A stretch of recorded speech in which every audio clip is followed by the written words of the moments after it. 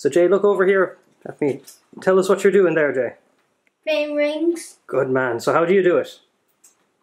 Like this. Throw. Throw, throw for us. Like that, but I missed. It's okay. The Junior Ringboard is an Irish-made product produced by Lisheen Toys in County Kerry, suitable for ages 6 and up.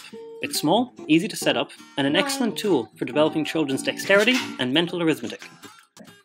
The board can be hung on a wall or left freestanding. Players take it in turn to throw a set of six rings. While there are many games that can be played, most commonly players will try to be the first to score up to a pre-agreed number, for example, 30.